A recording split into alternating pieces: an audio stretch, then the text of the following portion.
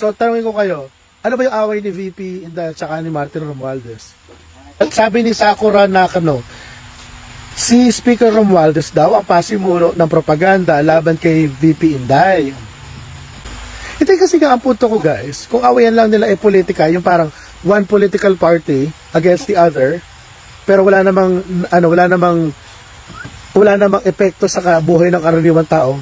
Eh ano ako, mag-ano lang ako guys. Magpapagpiprito lang ako ng popcorn, natulunod ako sa kanila dalawa. Ah, para kasi may nagpo-provoke sa kanila mag-away. Okay, ganito guys. Kung ikaw ay karaniwang Pilipino, ano pakialam mo doon? Unang, unang, tanong. Alright. So, given na nag-aaway si Inday Sara at saka si Martin Romualdez. Alright. Ano pakialam natin doon?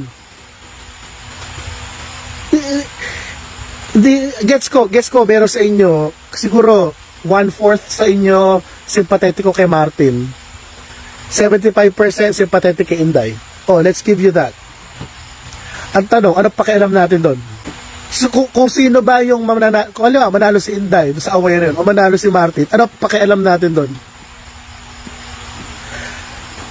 Pag, pag, yung bang magiging kapakanan ng mga anak ninyo, kung makakatapos na sa pag-aaral, eh depende sa kung sino mananalo kay Inday at kay Martin. Yun bang kapakanan na ekonomiya ng Pilipinas? Kung kayo magkakatrabaho o hindi, kung mapipirme trabaho nyo o hindi. Eh, nado ba sa awayan at ni Martin? Oh, hindi. O, napakialam ko dun. Dahiyaan mo sila. Ikayayaman nyo ba yan? Ika-aseso nyo ba yan? Ikagiginhawa ba ng buhay nyo yan? Pag may nagkasakit ba sa pamilya ninyo, pwede nyo ba ipambayad ng ano, bill sa ospital? Sabi, OTP, bakit dati defender ka ni Inday? Hanggang ngayon gusto ko si Inday. Love ko si Inday. Hanggang ngayon, mahal na mahal ko si Inday. Gusto ko si Inday hanggang ngayon. Ang problema lang, hindi ko trabaho ipagtanggol siya. Bakit? Kasi, ang, ang interest ko lang, ang interest ko, eh kung yung issue na meron ngayon, eh may epekto sa kapakanan ng karaniwang Pilipino. Sa, pagkakita ko, sa pagkakakita ko ng mga issue ngayon, yung mga away-awayan na yan, so first, ang magkaaway daw ngayon, si Vice Mayor, si, mali, Secretary Inday, VP Inday, at saka si Speaker Martin. Unang basic question, maayos ba ginagawa ng House? May katarantaduhan ba nangyayari sa House? Yun yung unang tanong. Pangalawa, yung mga priority legislation ba na makakabuti sa buhay ng karaniwang tao, mapasa ba? Yun yung pangalawang tanong. Ah, tigalaman tanong sila. O, doon naman sa part ni Mayor Inday, ni VP Inday, maayos ba patakaran, patakaran ng DepEd? Yung K-12 ba na ibibigay yung gusto learning outcomes ng karaniwang estudyante, ng karaniwang mamamayan? Balik tayo sa basic. Ayoko ng personality politics. Eh, hindi. Ano, yung iba, nagagwapuhan kay Martin. Gwapo ba si Martin? Pero sige lang. Pero di naman masyado. Di naman masyado. Siguro pag pumayag si Martin, gwapo, no? Speaker Martin, sensya na, pero hindi kita crush eh. Si kay Doc ako eh. Doc Prasco ako. Papa Doc, shout out. Okay, moving on. At saka kay Baste. ano, moving on, ano, parang, eka ko, balik tayo sa basic.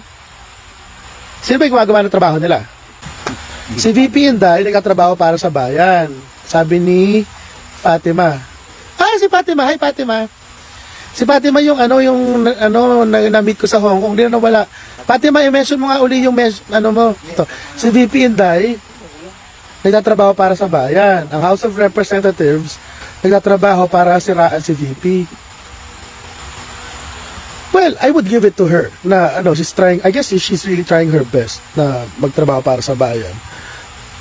Ang tapos, ang House of Representatives nagtatrabaho para siraan ng VP. Yung sa kung nagre-retaliate ko no, yung kampo ni Martin Romualdez kay Inday. Baka baka nga. Baka.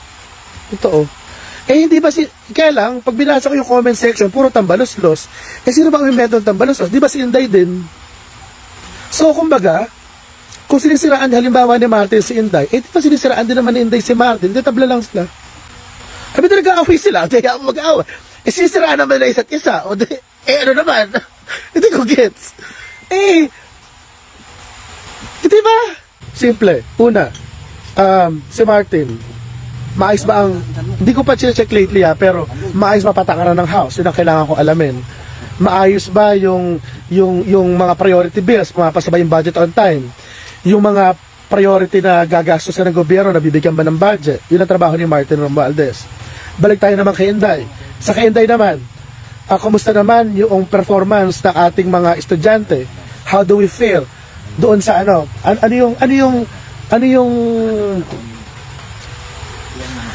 ano yung kalagayan natin sa global na ano job market? Yung yung yung kalidad ng edukasyon ng ating mga estudyante. Nag-improve ba sa ilalim ng kanyang pamumuno? Kumusta na ba yung DepEd? Gumanda na ba yung mga textbook? Nabawasan na ba yung, yung backlog ng mga classroom? Yun ang issue ko. Ma'am, Secretary Inday, alam mo naman ha, hoy, Sec Inday, BP Inday, alam mo, todo suporta ako sa'yo ha. Huwag tayo magplastikan, katext kita. Todo suporta ako sa'yo ha. Pero real talk lang ma'am. Bago, bago tayo mag-away-away sa politika, ayusin mo natin DepEd. Portfolio nyo yun ma'am. Kulela tayo. So ma'am, problemahin mo natin edukasyon. Pag naayos yung edukasyon, tas ayos na, yung acceptable na yung level, oh, tsaka na kayo magpolitika. Ikaw naman, Speaker Martin, pag ayos na yung kongreso, tsaka na ng...